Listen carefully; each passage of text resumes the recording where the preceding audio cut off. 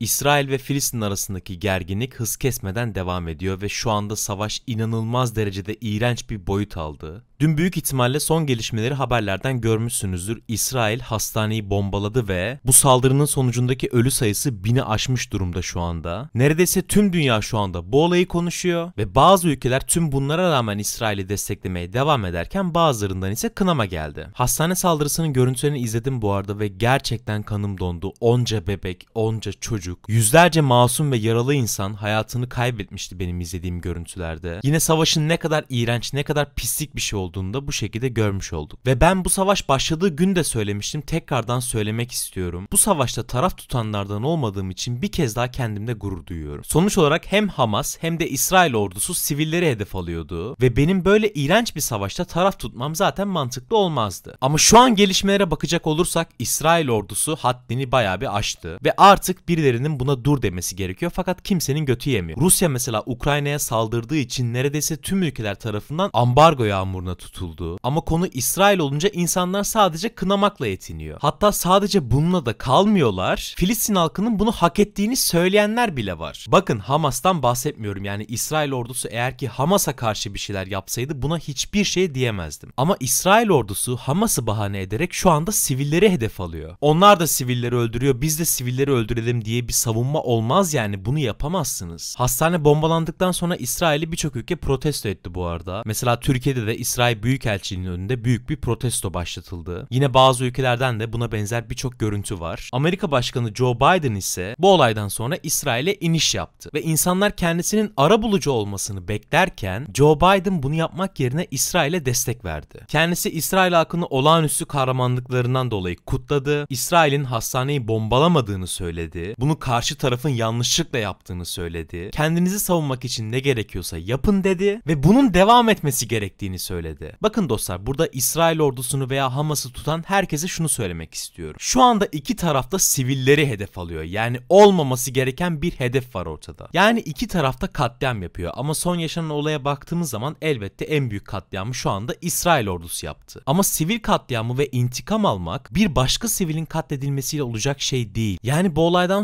sonra hala bir taraf tutuyorsanız ben gerçekten aklınızdan şüphe ederim. Çünkü bunun sonu gelmeyecek dostlar. Bir Hamas saldıracak, bir İsrail ordusu saldıracak. Olan yine masum insanlara ve çocuklara olacak. Ama kabul etmemiz gereken bir gerçek var o da şu. İsrail zaten yıllardır masum insanları katlediyor. Yani Hamas saldırısını bahane ederek sivilleri hedef alacakları gayet belliydi. Adamlara da gün doğdu anasını satayım. Son bir haftada 4000 masum insanı öldürdüler. Ama biz sadece kendimizi savunuyoruz bahanesiyle hiçbir ülkeden de tepki almadılar. İlk defa bu hastane olayında birçok tepki aldılar. Bakalım ne olacak hayırlısı. Umarım bu çirkin savaş en kısa zamanda son bulur ki son bulacağını çok da fazla düşünmüyorum. Çünkü Hizbullah ve Hamas bu saldırıdan sonra İsrail'i bayağı bir tehdit etti. Yani savaş çok daha iğrenç yerlere gidecekmiş gibi duruyor. Üzücü. Gerçekten çok üzücü. Diyecek çok da fazla bir şey yok. Ben burada videoyu sonlandırıyorum. Sonraki videolarda görüşmek dileğiyle. Hoşçakalın.